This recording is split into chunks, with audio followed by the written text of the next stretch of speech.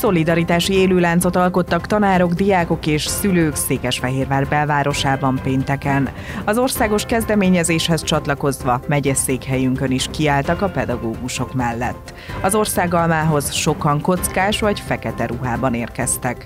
Az élőláncot követően a résztvevők gyertyákat gyújtottak, közösen énekeltek és többen beszédekben is megfogalmazták gondolataikat a jelenlévők felé.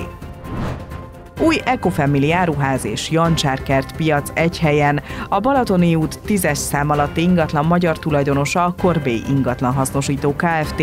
mintegy másfél milliárd forint összegű beruházást indít novemberben. A projekt három fő eleme az új Ecofamily áruház építése, a Jancsárkert termelői piac felújítása és a parkolóterület bővítése. A beruházás célja, hogy a fehérvári vásárlók egy helyen gazdag választékban a hét mindennapján kedvező áron áron juthassanak hozzá magas minőségű csomagolt élelmiszerekhez, háztartási cikkekhez, vegyi háztartási papír és édesipari termékekhez, valamint háztáji gazdaságokból származó zöldséghez, gyümölcshöz, tejtermékhez, pékáruhoz és füstölt húsokhoz.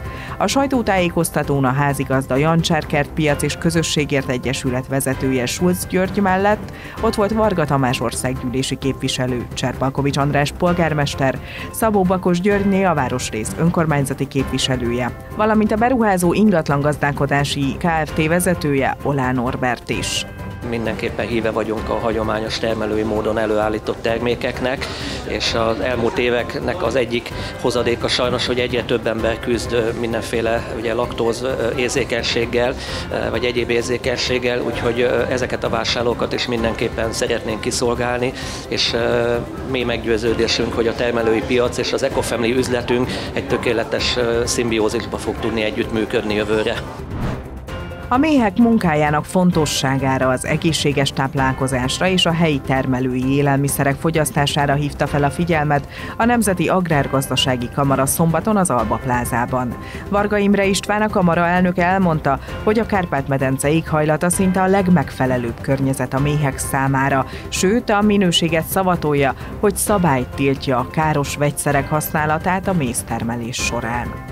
Magyarországon 1 millió 200 ezer méz család szorgoskodik azért, hogy az asztalokra friss és egészséges méz kerülhessen. Továbbá azt is megemlíteném, hogy a beporzáshoz és a természet fennmaradásához nagyon fontos szerepet töltenek be ezek az élőlények.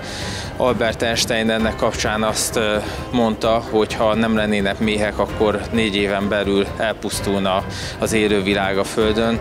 Úgyhogy ezekre a gondolatokra szeretnénk felhívni a rendezvényünkkel a figyelmet.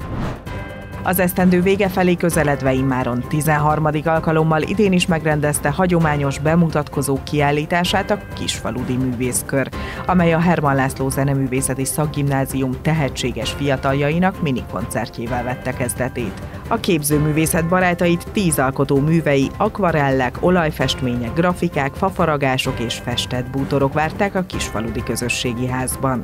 A tárlatot Horváth Miklós Csaba önkormányzati képviselő és Benkő Igaz Krisztina a Székesfehérvári Közösségi és Kulturális Központ szakmai vezetője ajánlotta a közösség figyelmébe.